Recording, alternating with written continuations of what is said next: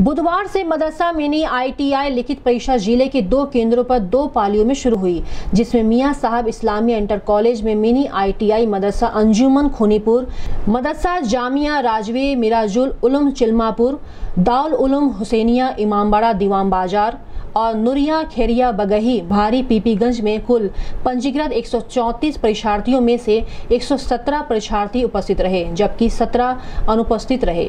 पूरे ज़िले के संस्थाओं की परीक्षाओं के लिए दो केंद्र बनाए गए हैं, जिन पर शुरू हुई मिनी आईटीआई उत्तर प्रदेश परीक्षा गुरुवार को समाप्त होगी। परीक्षा विद्यालय के व्यवस्थापकों द्वारा कड़ी निगरानी में सकुशल संपन्न कराया जा रहा है। इस संबंध में गोरखपुर न्यूज़ से बात करते हुए मियाँ साहब इस्लामिया इंटर कॉलेज के केंद्र व्यवस्थापक ज़फ़र अहमद खान और परीक्षा दे रहे परीक्षार्थियों ने कहा।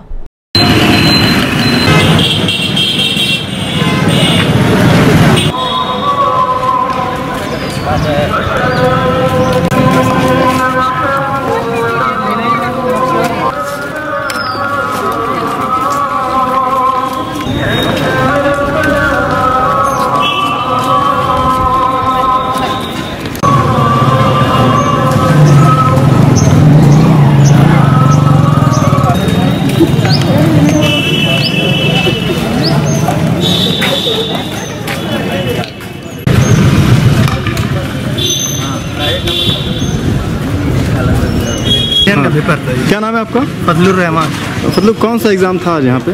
सामाजिक सामाजिक अध्ययन का मिनी आईटीआई का। कैसा रहा? अच्छा गया। क्या लग रहा है? निकल जाएगा इंशाल्लाह। निकल जाएगा। बताइए आप क्या नाम? टॉपिक अहमद। कैसा था मिनी मदरसा हुसैनिया से सामाजिक अध्ययन का पेपर था। मैं कल यूनियन परीक्षा हुई। है। ठीक रहा? इंतज़ाम ठीक थे? इंतज़ाम इंतज़ाम वगैरह कुछ नहीं।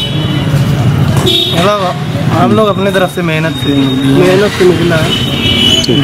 मतलब ये मदरसा बोर्ड, अरबी फ़ारसी बोर्ड जो है, वो यूपी का। उससे, उसके द्वारा संचालित की जाने वाली ये परीक्षा है, जो मिनी आईटीआई के नाम से जानी जाती है। मिनी आईटीआई में डिफरेंट ट्रेड्स हैं। उन ट्रेड्स की ये परीक्षा चल रही है और आज ये शुरू हुई है और कल समाप्त हो जाएगी। सुरक्षा व्यवस्था सर है यहाँ पे? अ, सुरक्षा व्यवस्था इस वक्त जो है वो सुबह में थे लोग सुरक्षा कर्मी। इस समय जो है वो विद्यालय जो है वो स्वयं करा रहा और अपने पूरे सचल दस्ते को उसने तैनात कर रखा है ताकि नकल विहीन परीक्षा कराई जा सके।